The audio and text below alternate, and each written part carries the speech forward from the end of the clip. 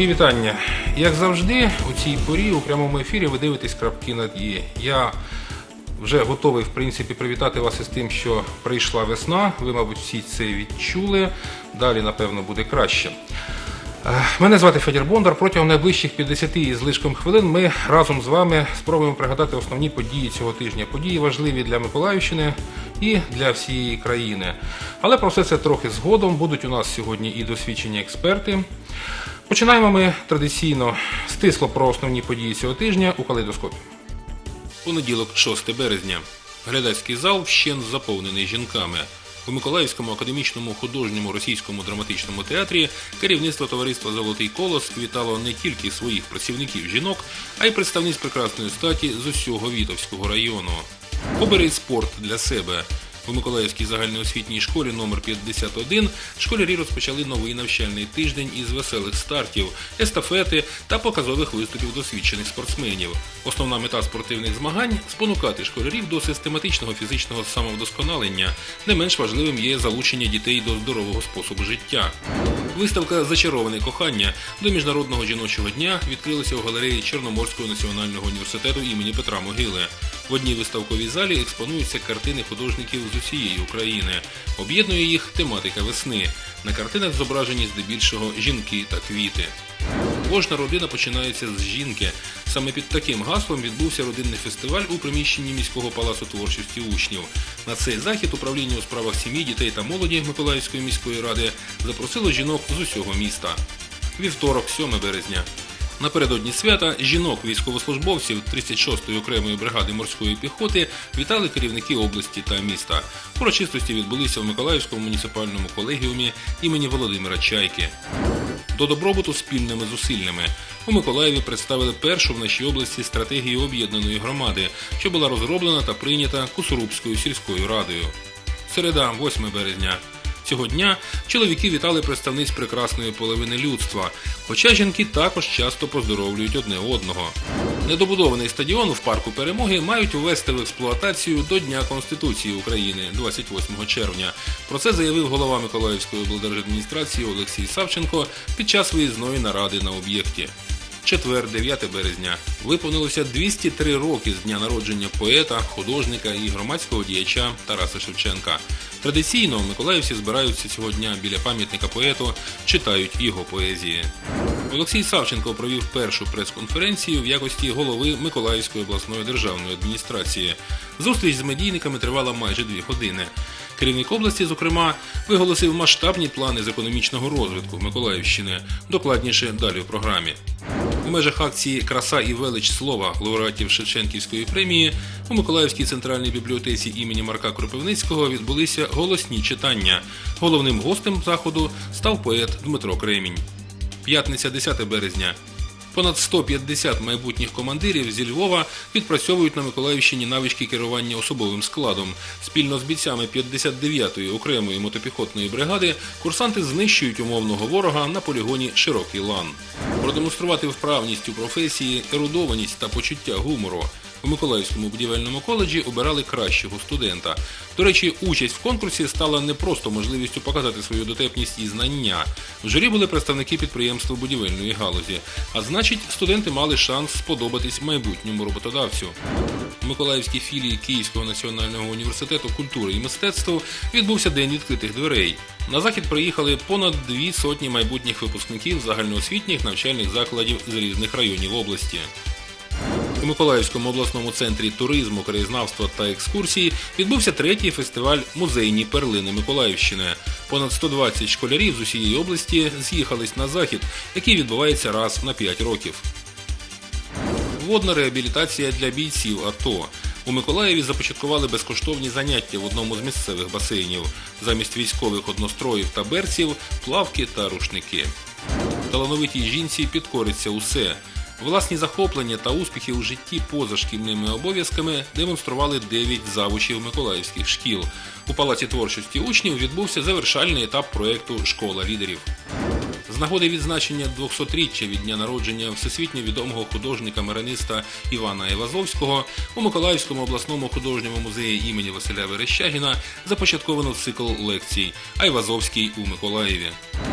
Знайомство із літературним Львовом відбулось в центральній міській бібліотеці імені Марка Кропивницького.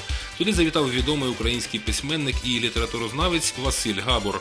Шанувальники українського слова мали можливість поглибити свої знання з історії письменства у Галичині від митців-модерністів до відомих сучасних авторів. Миколаївські шанувальники греко-римської боротьби, юні спортсмени, отримали можливість повчитись у тренера збірної України Володимира Шацького. Він призер Олімпійських ігор, чемпіон світу. Для малечі, яка тільки починає виходити на борцівський килим, тренування у такої зірки це неабиякий стимул спортивній кар'єрі. Субота, 11 березня. Початок весни дав старт суботникам. Вчора прибирали біля стадіону на проспекті Героїв України. За лопати та граблі взялись і чиновники, і спортсмени. Погода була не дуже лагідна до прибиральників, однак людей зібралось достатньо. Барви надії. Під такою назвою в Миколаївському краєзнавчому музеї Старофлотські казарми відбувся обласний конкурс читців. Близько ста учасників з різних куточків Миколаївщини з'їхались продемонструвати свої таланти та подивитися на колег по цеху.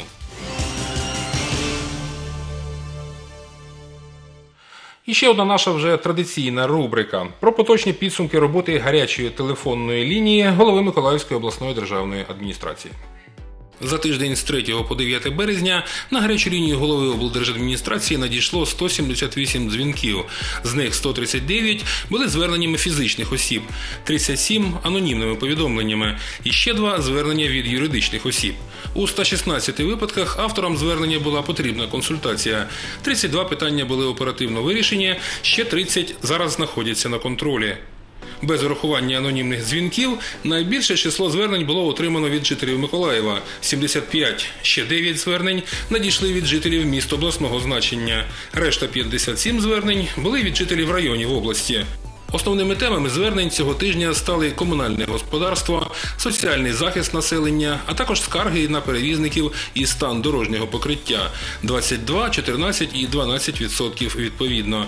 Спільно ці теми займають 48% від загального числа звернень. Найбільше звернень на цьому тижні надійшло з Вітовського, Березнегувацького, Новоодеського, Арбузинського та Братського районів.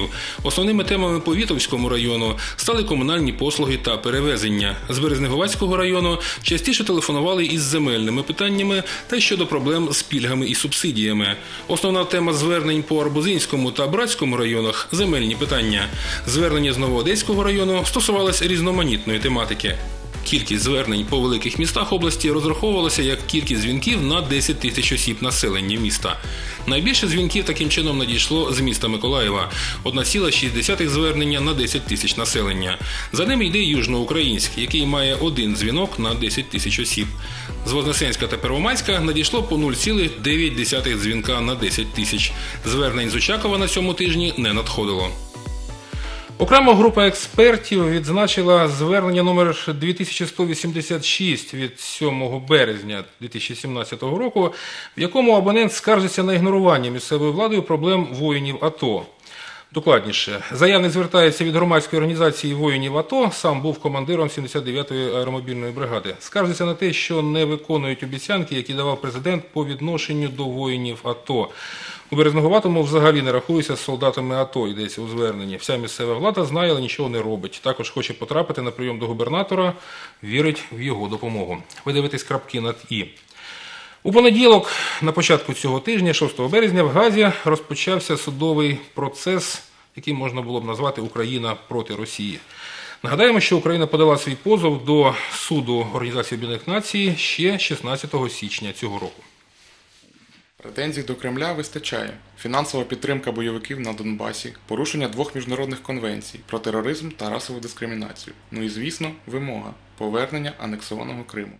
Крім захопливої заяви від Росії про величезні зусилля щодо гармонійного розвитку всіх етнічних груп у Криму, ви не почули правдоподібного виправдання російської кампанії з культурного знищення і спроб залякати кримських татар та етнічних українців, зникнення кримськотатарських представників без серйозного розслідування, висилання та переслідування кримськотатарських лідерів, закриття кримськотатарських медіа та заборони меджлісу, культурно важливих зібрань українців та українських шкіл.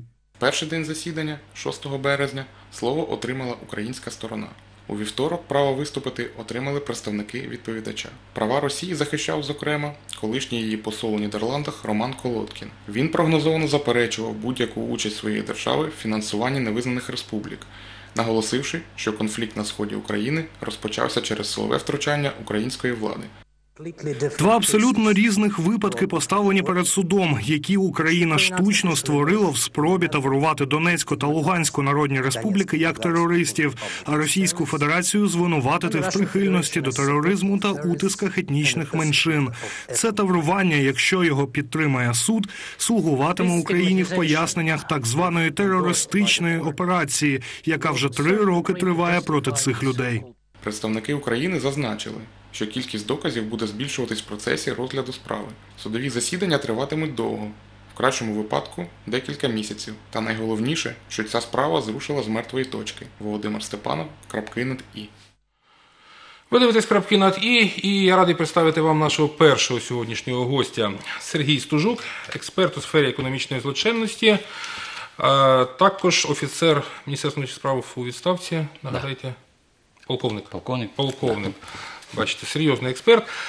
Е, Поговоримо ми про те, як е, захищає свої інтереси Україна, чи захищає, чи е, насправді захищають її інтереси ті, хто говорить, що це роблять. Ну, в принципі, резонансна вже не один тиждень, не один місяць подія, яка триває, це блокування. Блокування так званих ДНР і ЛНР, кордону з нашого боку. Отже, в принципі, найбільш логічне запитання, кому це вигідно. Э, Добрый вечер, дорогие друзья. Э, Вообще говоря о блокаде, э, если в целом, то можно сказать, что отсутствие торговли с неподконтрольными территориями, в принципе, это логично. Что нет, территории не принадлежат, какая может быть торговля, даже если нет военных действий.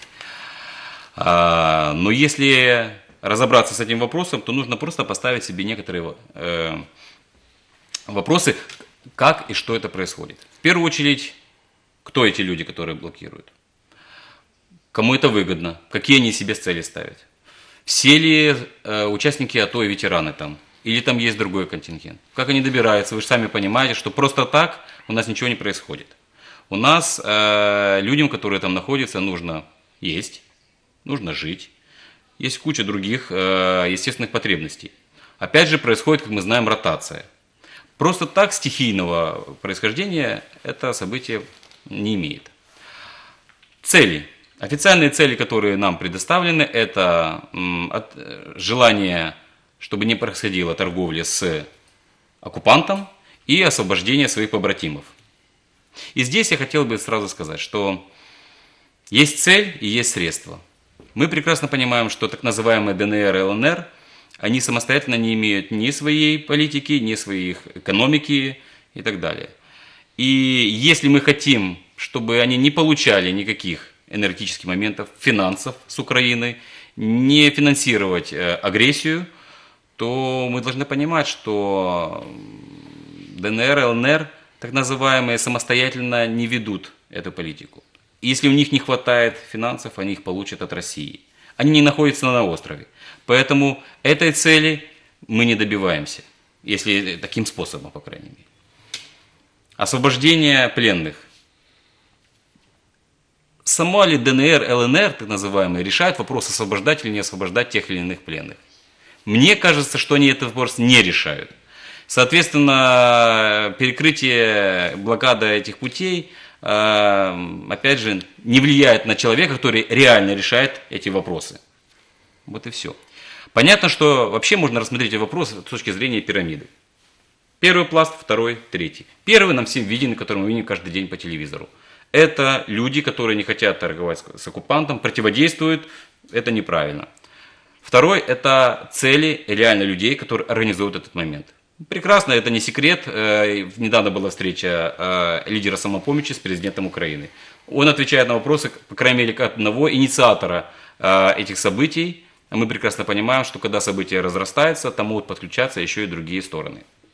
В данном случае э, цель – это заставить правительство пойти на какие-то определенные уступки в этом направлении. И этой цели легко добивается, потому что реально по кому бьет действительно блокада в первую очередь, это по правительству Украины. Отчасти задевается ДТ Ахметова, который также не раззвучал, и реально это будет удар, но не сейчас. Быстрого эффекта не будет. Почему? Потому что э, убытки от того угля, который они поступали из неподконтрольной территории, они компенсируются сейчас повышением тарифов. Самое главное, о чем хотелось бы сказать, что это э, вершина этой пирамидки, главная причина, почему это происходит. А главная причина – это экономика. Проблемы в экономике и позволяют иметь такие моменты. Самое главное, что уголь. Давным-давно нужно было отказаться от угля, и не было бы этой проблемы. Во всем мире уже это, э, знают о том, что это не только не экономично, это еще и не экологично. Возможно, это каким-то образом, может, каким-то процентом в будущем толкнет нас на э, перестройку наших предприятий, перестройку э, нашего отношения с, энер- с энергетическими э, моментами, которые помогают нашей стране. Давно уже есть зеленый тариф, давно уже есть другие возобновляемые источники энергии. Деньги на эти выделялись давным-давно. Вот где место коррупции. Давным-давно выделялись и, естественно, никуда не пускались. Давно все предприятия должны были перейти. Конечно, одно слово можно сказать, если говорить объективно про этот вопрос, что э, мы знаем, что результат введено чрезвычайная ситуация в Украине в энергетическом блоке. Влияет ли э, и настолько ли влияет поставки угля на энергетику, на электричество в наших э, домах э, и квартирах? На мой взгляд, нет. Много у нас электроэнергии в Николаевской... Давайте так, будем говорить о Николаевской области. У нас есть атом, атомная электростанция. Она обеспечивает не только Николаевскую область. Э, Все остальная выработка электроэнергии осуществляется на газу. И так большинство в Украине. То есть реально У нас- опасности... у нас система энергетическая так выстроена, что я даже не уверен, что мы вообще получаем электричество от Южноукраинской атомной станции. Я хочу сказать, что понятно, для чего это делается. Просто необходимо затронуть весь народ, э, чтобы действия были нормальные. Мне здесь вопрос другой, что у нас возбуждены уголовные дела, и, к сожалению, сейчас не идут действия по нейтрализации этой ситуации. Даже если допустить, что 100% идея очень правильная, не политическая, а реально патриотическое направление действий э, этих людей, то здесь следует сказать о том, что Но почему именно сейчас? Почему кстати, им- очень им- хорошо вы именно- затронули. Посреди зимы? Если это действительно неправильно, то почему блокаде всего лишь сколько, 40 дней или чуть больше 40 дней? Почему ей не сезона. 3 года? Почему не 2 года? И самое главное, я хотел бы сразу обратить внимание, что те силы, политические силы, хочу подчеркнуть, которые сейчас реально э, направляют все усилия, фокусируют внимание всех на этой проблеме, еще недавно, не прошло, наверное, и года, ну, может быть, чуть больше, где-то так, как раз говорили об обратном. Они противодействовали решениям правительства по поводу э, приобретения угля из-за границы. Они говорили о том, что у нас есть свой уголь, зачем нам брать из-за границы, зачем нам переплачивать. То есть мы понимаем, что это политические игры. Вообще, грубо говоря, если сравнить с рукопашным боем, удар рукой – это слабый удар. Если вы ударите, э, это слабо. Это наше событие, которое мы все видим. Чтобы ударить сильнее, нужно подключить плечо. А это как раз те политические переговоры, которые сейчас ведутся по решению этого вопроса. И ну, мощный удар, это когда мы к плечу еще подключаем бедро. Но самое главное, что рука быстрая, но легкая, плечо сильное, но среднее, сти- а уже бедро это мощный удар, но оно очень медленное. И бедро это и есть наша экономика. Без э, налаживания вопроса в экономике эти вопросы, эти события будут постоянно у нас возникать. И самое главное, что я хотел бы отметить сейчас, это опасный прецедент. Это реально большая проблема. У нас прошли мы этап покрышек, что для решения любого вопроса можно было покрышку поджечь или просто облить бензином и сказать, давайте решаем вопросы. Завтра у нас на центральном рынке любой мужчина может выйти и сказать, что так и так. Ну, я так торгую семечками, денег нету. О, ребята там перекрыли. Давайте перекроем еще что-то. Давай перекроем. Мож- Можешь перекрыть э, газопроводы. Это тоже главный-то источник, если мы говорим о агрессии финансовой, это Россия. То почему не перекрываем Россию? Ну, юридически получаем и через европейские страны, но мы догадываемся, откуда большая часть этого газа. Без газа, опять же, границы с Россией это открытые, без всяких проблем. Полминутки. Э, Продолжится блокада? Э, Мне кажется, нет. То есть, как потеплеет, так и сойдет на нет. Полминутки вы что имеете в виду? Полминутки на ответ вам. А, Вже менше. А Продолжится ли блокадом? М, Я думаю, э, э, решится, решение вопроса в политической плоскости решит ее и в том вопросе. Когда в плече мы решаем вопрос, и удара этого не будет. Вот и все. Нет, это, возможно, будет силовой орган, э, какой реально у нас про- про- напрашивается в этом направлении. Спасибо. Далі в програмі. Е, На цьому тижні відбулася перша прес-конференція Олексія Савченка вже в якості голови Миколаївської обласної державної адміністрації. Тривала вона майже дві години. Е, Керівник області закликав журналістів звертатися до нього лише українською. Говорив на різні теми, але найбільше щодо планів він е, торкався економічного розвитку Миколаївщини. Там дійсно було досить багато цікавого. Я пропоную вам відеосюжет про це. Згадав керівник області і про основне профільне для Миколаєва виробництво. Сьогодні у нас в державі немає ні цивільного, ні військового флоту. Тому для відновлення саме Миколаївщини я вважаю, що я буду пропонувати Кабінету міністрів, я буду пропонувати Верховній Раді на базі Миколаївщини створити відновлення українського флоту. По 61-му заводу Комунар сьогодні ми маємо відкриту проблему. Я хочу, щоб е, е, ми побачили, е, зробили аудит всіх об'єктів, які сьогодні є, і по землі пройшлись. Тому що завод збанкрутілий, але за землю нараховується рентна плата. Коли він буде за неї розраховуватися? Миколаївщина недоотримує кошти від морської транспортної галузі, нагадав Олексій Савченко. Для виправлення ситуації в цьому, зокрема, питанні необхідно залучати законодавців. У нас з вами 11 народних депутатів, представників з Миколаївщини. То вони створили групу Миколаївщина в Верховній Раді. І я буду звертатися саме до них з питань. Перше, я хочу, щоб 5% від е, надходжень до адміністрації морських портів залишалися в нашій з вами рідній області. Я хочу, щоб е, саме розщеплення по великим е, платникам податків, які сьогодні є, залишав 10% залишалось теж на Миколаївщині. В планах і відновлення старих, але все ще дуже актуальних для області проєктів. Я ставлю на мету собі, і я долучився до співпраці з міжнародними організаціями. Це будівництво. Ну, в цьому році ми певно зробимо проєкт так званого японського моста.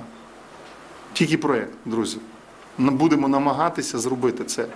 Торкнулися і стану та перспектив Миколаївського аеропорту. Сьогодні ще робиться аудит, і сьогодні ми виходимо на певні цифри. Сьогодні ми виходимо по певних обстеженнях.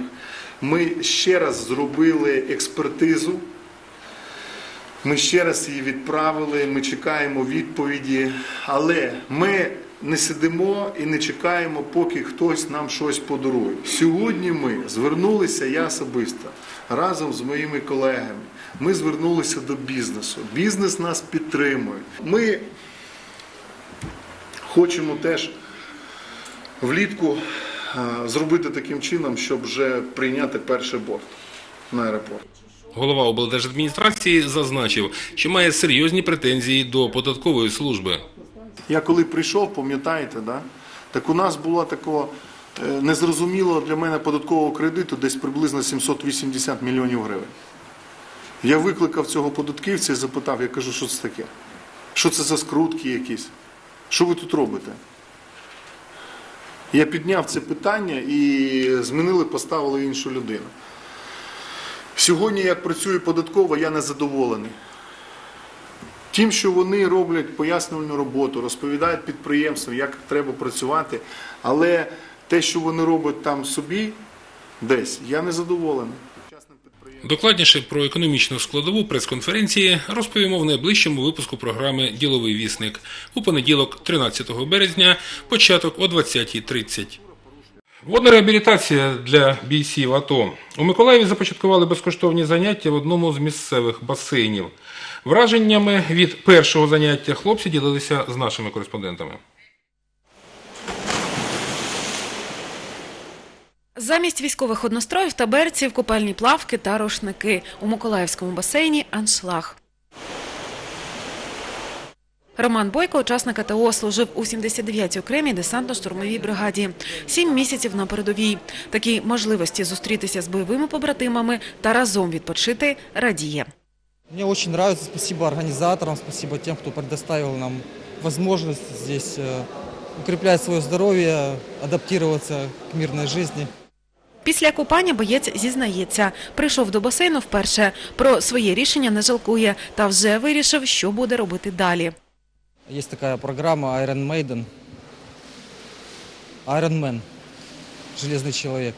Там надо за время проплыть вроде бы 6 километров, э, пробежать 42 километра и на велосипеде проехать 150 километров. Таку ідею спільних тренувань висунули самі військовослужбовці. Дирекція плавбасейну ініціативу вояків підтримала. Ну, я тут на этом микрорайоне в Саринах я живу, зашел, спросил. Потом немножко длительно собиралось, список желающих. Составили, занесли письмо. Здесь дирекция встретила радушно. Двічі на тиждень, у понеділок та п'ятницю, бійцям АТО пропонують одну доріжку. Плавати можна годину. Записуються до восьми осіб. Если бы было бы еще вечернее время, то это вообще был бы идеальный вариант. Ну, так как это все безоплатно, ну, что дают, тем и пользуемся. Вартість абонементу відвідування плавбасейну на місяць 350 гривень. Усього 10 занять. Реабілітація для учасників АТО безкоштовна. Про потреби ветеранів і інвалідів АТО, про ставлення до них з боку держави і суспільства ми поговоримо з нашими гостями. Це Ілля Шполянський, перший заступник голови громадської організації Асоціації учасників та інвалідів АТО. Вітаю. Та Сергій Гусіді, заступник голови цієї ж організації, громадської організації Асоціації учасників та інвалідів АТО. Вітаю вас, хлопці. Е, чудове починання. Щойно в сюжеті побачили. Наскільки, ну почнемо буквально з цього, наскільки це важливо саме фізична і такий вид реабілітації? Ну, е, якщо казати про плавання, це далеко не один вид фізичної реабілітації, який в нас є. А у нас найбільша проблема це не знайти там, де плавати, а знайти тих, хто буде плавати. Бо зазвичай може, е, може ви таке чули, що е, люди між собою казали, особливо у 15-му році, от повернуться учасники АТО, вони тут наведуть лад. Якось прийшов 15-й рік, повернулися перша, друга, третя хвиля, прийшов 16-й рік, повернулися 4, 5, 6, а повернулися хлопці.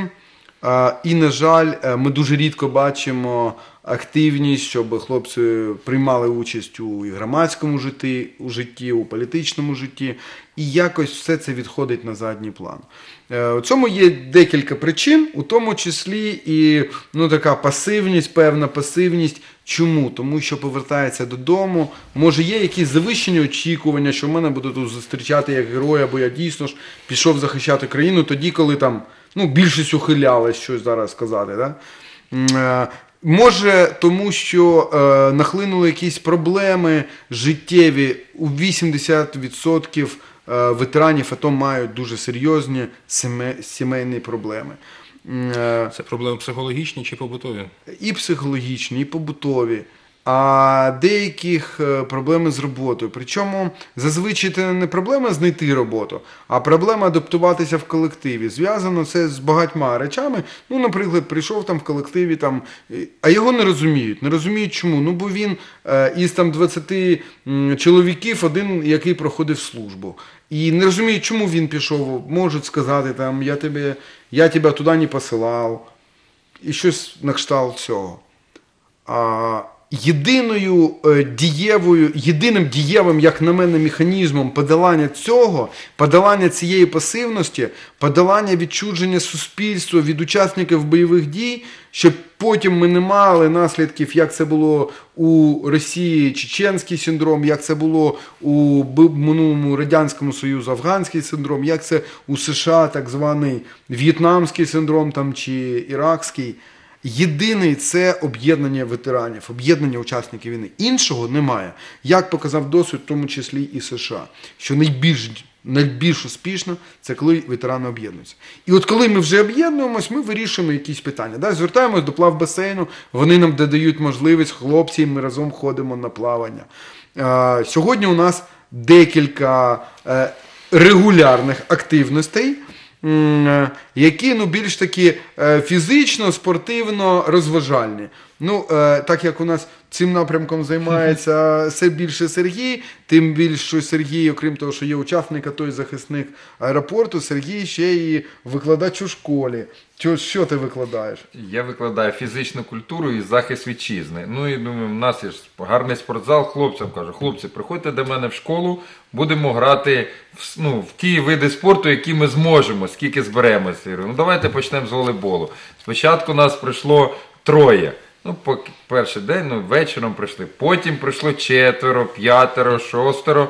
Почали ну, ввечері грати. Потім вже більше. Ну і е, звернулись до НКІ. У нас е, Сергій Копійка працює в НКІ. Говорить, я можу домовитись в НКІ. В НКІ більше спортзал, більше є можливостей займатися. І вже в НКІ почали. А все починалось на школі. Зараз хлопці питають, може там.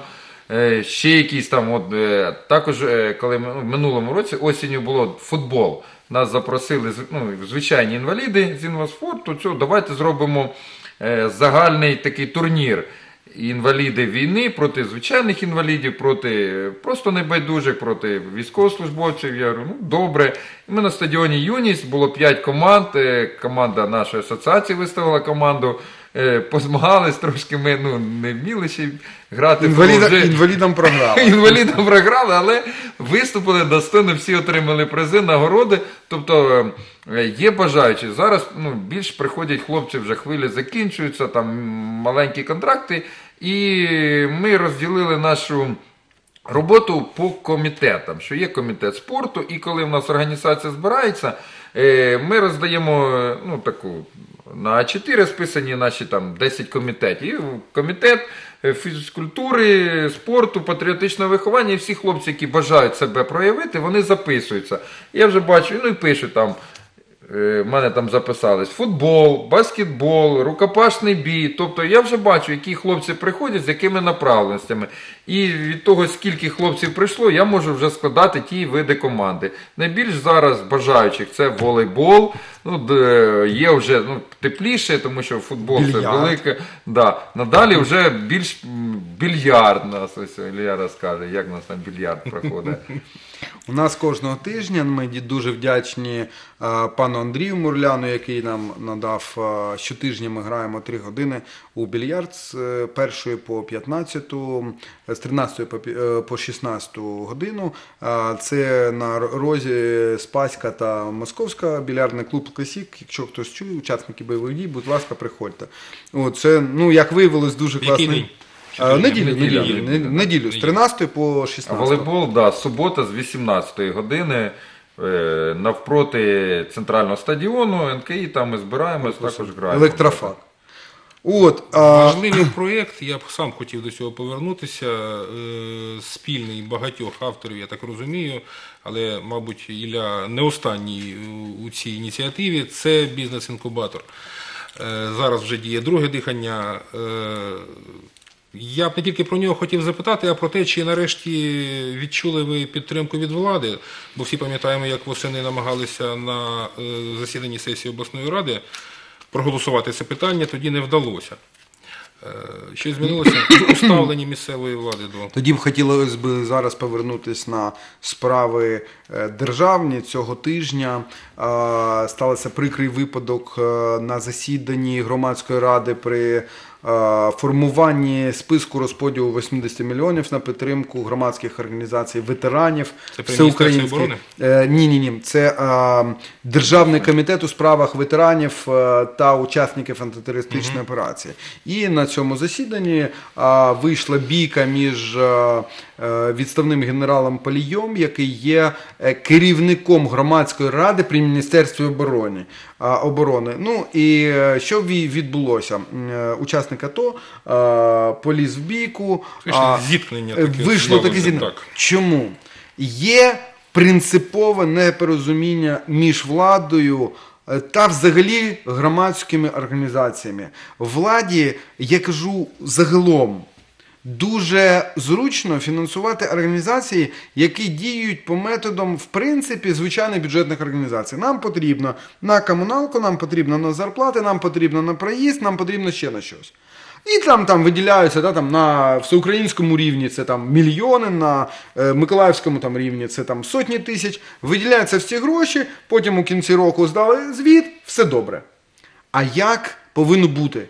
А повинно бути, чому вийшла ця бійка? Тому що е, дієві е, всеукраїнські організації, учасників антитерористичної організації, волонтерські організації, що вони хотіли? Вони хочуть сказати, ми хочемо грантовий метод. Давайте ми покажемо. Нехай держава дасть 100 тисяч, я принесу мільйон. Нехай держава дасть мільйон, ми принесемо 10 грантових коштів, інших залучень і так далі. А приблизно така ситуація у нас і на Миколаївському рівні. На жаль, на сьогоднішній день в Миколаївській області не фінансується поки що не одна ветеранська організація учасників АТО. Жодна. На сьогоднішній день було закладено на центр допомоги учасників АТО 370 тисяч у обласному бюджеті. Наскільки я знаю, поки що фінансування немає, ну там якісь юридичні негаразди. Фінансуються ветеранські організації учасників е, Другої світової війни та учасники війни в Афганістані. І ще там чорнобильці, ну які ще додаткові організації. А хочу сказати, що сьогодні. Напевно, вперше пішло досить відносне порозуміння із обласною владою, і е, наскільки я знаю, на березневу сесію буде винесене питання, в тому числі щодо фінансування ветеранських організацій учасників АТО. А ми хочемо показати, наша організація у прошлому році залучила грантових коштів 300, близько 350 тисяч гривень і 200 тисяч гривень у 400 450 тисяч ми залучили грантових коштів.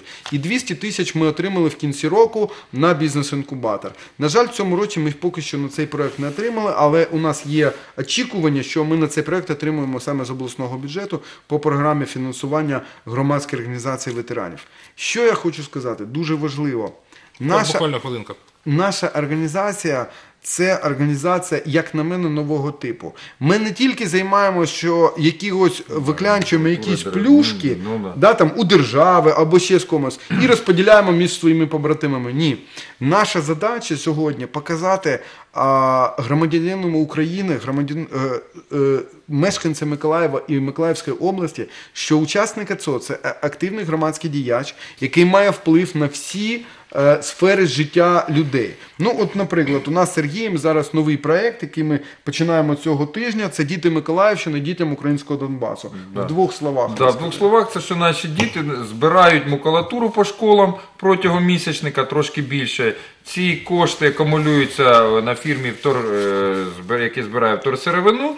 І по закінчення на ці кошти ми вже домовились з нашою українською фірмою виробником комп'ютерів, які спеціалізуються ну, саме для шкіл. Вони з великою скидкою максимальною для школи в селі Гранітне. Дуже така ну, слабенька, побита, Постраждала. школа. Ми закуповуємо комп'ютери, тому що ми спілкувалися, ми бачили ті школи, в якому вони стані. Тому думаю, що ми не Це можемо школа таке на самій передовій. Да. Кілометр від я думаю, що ми зможемо. У нас 73 школи, плюс е, деякі там училища, ПТУ, ліцеї. Може, люди принесуть Да, просто. Люди принесуть. Ми всіх закликаємо приносити макулатуру до школ. Це все. Також діти отримують призи. Найкращий, найактивніший учень, найактивніший клас, найактивніша школа. Всі отримують призи. Це ми просто Будуть показуємо. планшети, будуть селфі-палки. Це для тих, хто багато принесе макулатуру. То ми хочемо сказати батькам, щоб вони пильно дивилися за своїми там е, цінними паперами, щоб Да, діти да, їх вже зразу там побачать там всі. Ну тобто, це ну, з департаментом освіти Миколаєва. Тільки Це все. Я дякую вам, хлопці. Бажаю успіхів у всіх ваших починаннях. Дай Боже. І далі в програмі. На цьому тижні ми відзначили 203-ю річницю з дня народження поета, художника, громадського діяча Тараса Григоровича Шевченка. Традиційно 9 березня громадськість Миколаєва збирається біля його пам'ятника, аби згадати і почитати його поезії. У Миколаєві о 9 годині біля пам'ятника Тарасу Шевченку людно. Тут зібрались представники чотирьох політичних партій. Година рання, але це багаторічна традиція. Ще на початку 90-х тут саме у цій порі збирались перші мітинги, учасники яких говорили про значимість постаті Тараса Шевченка. Минулі роки, але знову звучать такі думки. І він показав нам приклад е, самопожертви для, е, для свого народу. Навіть він е, писав такі слова: «Ах, молися, сину. За Україну його замучили колись. Це він про себе, що мати буде колись свого сина так виховувати. Е, Але потім додає, мені, мені однаково, чи буде той син молитися, чи ні.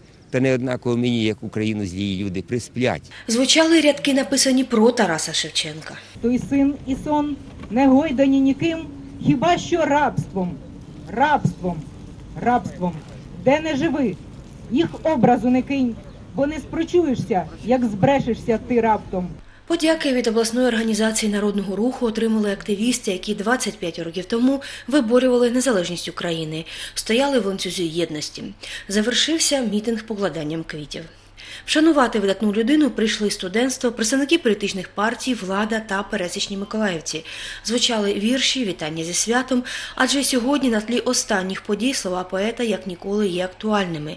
Очільник області згадав поезію і мертвим, і живим. Так, коли я проводжу наради, я з задоволенням згадую цей вірш. Він багато чого поговорить мені сьогодні.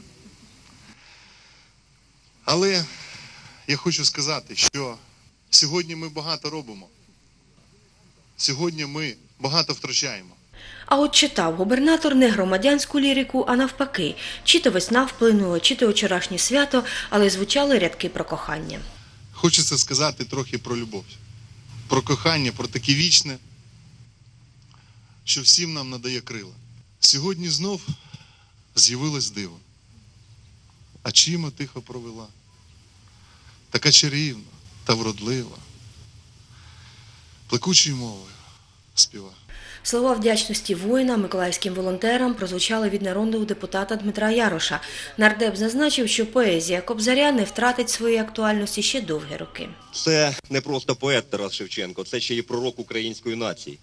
Дуже багато його поетичних формул стали основою ідеології українського державництва, основою ідеології українського націоналізму. Чого варте в своїй хаті своя правда і сила і воля. До речі, в день народження Тараса Шевченка відбувається вручення державної премії імені видатного поета. Нашу область прославили Микола Вінграновський, Олександр Сезоненко, Світлана Фоміних і Дмитро Кремінь. Крім того, Сьогодні особисто президент України Петро Порошенко і міністр освіти Лілія Гриневич вручають е, нагороди переможцям міжнародного мовно літературного конкурсу імені Тараса Шевченка, який відбудеться в Києві. Я хотів би, щоб ми зберегли на Миколаївщині місця пов'язані із діяльністю тих, хто примножив його е, скарб. завершився мітинг покладанням квітів до пам'ятника поету. Барви надії. Обласний конкурс читців під такою назвою відбувся цього тижня. Близько ста учасників з різних куточків Миколаївщини з'їхались, аби продемонструвати свої таланти і поспілкуватися з колегами. От ідіть тут, посидіть. Це така тут парта. Тут учитель. Підожди, зачекай но трошки. Я тут сяду, а ти йди, щось скажи, підошки. Організатори та журі цьогорічного конкурсу були приємно вражені кількістю та віковою різноманітністю учасників, а головне неймовірно професійним підходом до вибору поезії та постановкою номерів, беручи до уваги рекомендації журі. Адже за словами голови журі Людмили Жарікової, минулорічний конкурс відрізнявся песимістичним репертуаром. чтобы мы учитывали в чтении то, что мы сильные, мы трудоспособные, мы живем надеждой, мы преодолеваем трудности. И вот в сегодняшнем конкурсе я увидела это позитивное отношение к событиям, к стране, к жизни, то, что, собственно говоря, и должно вести по жизни человека. До складу журі увійшли заслужені діячі культури області та України, кожен з яких має власні критерії оцінювання таланту декламації. Мої особисто критерії те, щоб діти і саме виконавці розуміли, про що вони читають, тому що буває перебарщують такі емоції, і наіграні вони бувають. Твір, який підібраний, повинен відповідати віковій категорії. Коли дитина маленька не розуміє, що проходить, його заставляють ридати, плакати. Ми сьогодні повинні бачити і дітей. Ми сьогодні повинні бачити і матерів, і композиції. Може, вийшла русаленька матері шукати, а може жде козаченька, щоб залоскотати. Не русаленька блукає, то дівчина ходить. Маргарита Гаспарян з Єланського району бере участь у конкурсі вперше, хоча вже має за плечима чимало виступів у різноманітних конкурсах на малій батьківщині. Вибирала поезію для декламації, спираючись на переживання представниць жіночої статі. Зараз, хоч не така ситуація в Україні, кожна мати, дочка, жінка чекає свого сина, чоловіка. І може ця поезія якби надихає на те, що потрібно чекати. Чекати і все буде. Він повернеться. Головне вірити. 13-річний Дмитро Солдатов з Врадіївки більш досвідчений конкурсант. Останні шість років хлопець постійно бере участь у різноманітних фестивалях. До речі, минулого року Дмитро представляв Миколаївщину на республіканському конкурсі читців, де посів друге місце. Для барв надії підготував одразу дві поезії на злободенні теми. І снід – проблема молоді, що забира з собою життя людське, зажурене сонце, знебарвлене небо. Кому на планеті земля така треба? Зараз, брат, за війни в мільйонах хрестів. Прости нас, планету, єдина, прости. Конкурс триватиме два дні, і вже завтра члени журі оголосять імена переможців, номінантів та гран-прі обласного конкурсу читців «Барви надії», які матимуть змогу представляти Миколаївщину на всеукраїнському фестивалі «Усмішки Глазового». Ви дивитесь крапки над І. Вже близько півроку в Баштанській центральній районній лікарні діє відділення гемодіалізу. Наймолодше в області відділення стало 10-тим медичним закладом Миколаївщини, який отримав статус чиста лікарня, безпечна для пацієнта. Цей проєкт реалізують Асоціація служб організації інфекційного контролю, скорочено СОІК, та Асоціація медичних сестер України. Сегодня Николаевская область получила юбилейную награду. Это награда десятая. И я очень рада, что именно отделение гемодиализа Баштанского района получило эту награду. Э, Это хороший пример для областных лечебных учреждений нашей области. Надеюсь, другие лечебные учреждения подхватят эту эстафету и будут также принимать участие в данном проекте. Приклад для нас, е, звісно, показали медичні заклади Миколаївської області, третьої міської лікарні. А чому ми захотіли отримати цей статус? Тут багато чинників. Перший і першим з ним е, з них є те, що пацієнти почували себе безпечно в наших відділеннях, щоб вони зрозуміли, що якщо ми маємо цей статус, то перебування в відділеннях центральної районної лікарні безпечне для пацієнта. Це перше. А друге, е, це економія бюджетних коштів, це е, дезінфекція сучасними методами дезінфекції, а також е, зменшення алергологічного впливу на руки, на шкіру медичних працівників. Важливість чистоти та інфекційного контролю в лікарні і в таких відділеннях, зокрема, складно переоцінити. Встановлено сучасну систему водоочищення та водопостачання, проведено якісний ремонт, придбали апарати, штучні нирки і матеріали для нього італійського виробництва. Загалом витратили понад 15 мільйонів гривень. Я на гемодіалізі зовсім я вже 5 років, шостий рік, але вже 6 місяців ми, як відкрився в нас гемодіаліз уже тут в Баштанці. Е, Дуже добрі у нас медпрацівники. Е, Ставлення до нас дуже добре, завжди чисто. До нас відносяться дуже, е, як сказати, м'яко. Хочеться побажати, щоб процвітало наше відділення, щоб менше хворих було, але в чистоті і в порядку, щоб ми всі були. Проект Чиста лікарня безпечна для пацієнта базується на санітарно-гігієнічних нормах, схвалених Міністерством охорони здоров'я України. Нічого надзвичайного вони не містять, але про ці вимоги необхідно пам'ятати. Уже проведено аудит пологового відділення, гінекологічного, хірургічного відділення і операційного блоку. Тому е, ці відділення для нас являються пріоритетними, і в майбутньому ми в першу чергу плануємо, е, що статус е, чиста лікарня безпечна для пацієнта отримують саме ці відділення.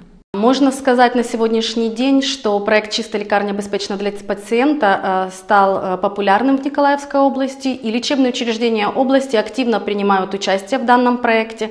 Надеюсь, 2017 год будет результативным, и многие больницы и отделения наших лечебных учреждений получат статус «Чистая лекарня безопасна для пациента». Федір Бондар, крапки над І. На цьому тижні до нашої телекомпанії, а ми, до речі, мабуть, ще не всі пам'ятають, зараз називаємось Миколаївська філія Національного суспільного телебачення України, завітала делегація наших колег з Херсону, з телеканалу Скіфія. Проте, чим цікавилися гості, які у них були враження, у відеосюжеті. Співпраця двох каналів триває понад два роки. Саме тоді керівництво телеканалу Миколаїв їздило до Херсону познайомитись з колегами з телекомпанії Скіфія та дізнатися про організацію їх роботи в ефірі. Подивитися, як вони вирішують ті проблеми, які тут у нас здаються взагалі непідйомними, і вони дуже добре з цим справляються. Ну це було дуже корисно. І справді, подивившися, е, як вони організовують свої ефіри, як вони організовують свої студії, як вони організують е, зв'язки у колективі. Було настільки корисно, що коли я просто подивився, як це все відбувається там, то е, приїхавши сюди, е, я зрозумів, що можна зробити у нас. Розпочали зі знайомства та вручення гостинців із сонячного Херсону, поділилися надбаннями та нововведеннями, ідеями і задумами. Завжди цікаво, як живуть сусіди. Тому ми вмикаємо і дивимося. Тим більше у нас от був прошарок часу, що ми обмінювалися передачами інформаційними і ви дивились нас, ми дивились вас, і це цікаво. Є багато спільного просто і в людях. І тому от хотілося б ще більше бачити ваших передач, обмінюватись, і може і це в культурному житті більш широко. Анатолій Морощак, головний редактор телеканалу Скіфія, добре знає Миколаїв. Два роки свого життя він прослужив офіцером у 79-й окремій десантно-штурмовій бригаді. Окрім основної відповідальної та творчої посади, пан Анатолій займається письменницькою та кінематографічною діяльністю. Його остання робота, збірка патріотичної поезії Книга живих, стала реквіємом до проекту на рідному каналі. Є у нас така програма, ми першим започаткували в Україні, називається вона Герої не вмирають.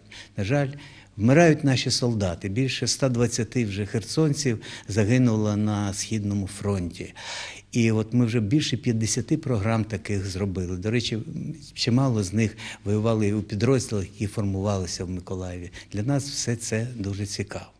Також на гостей чекала екскурсія територію телерадіокомпанії. Херсонські медійники побували у редакціях та студіях, поспілкувалися з працівниками, а також взяли участь у ранковому шоу. Ми тільки починаємо дивитися, але по тих розмовах, де що нам розказали і про що нам вже говорили, то я думаю, що у вас дуже багато цікавого з'явилось саме останніх, саме останніх два роки. Навіть з того, що у вас з'явилася ранкова програма, то у вас багато чого є. Подивитися і щось взяти для себе. Херсонські колеги загорілися ідеєю спільного проєкту, тому, можливо, найближчим часом на медіапросторі Херсонщини та Миколаївщини з'явиться новий масштабний проєкт. На сьогодні це все. Дякую усім, хто був з нами протягом програми. Весна, я сподіваюся, вже прийшла. Дійсно прийшла. Е, Нехай все у вас буде добре.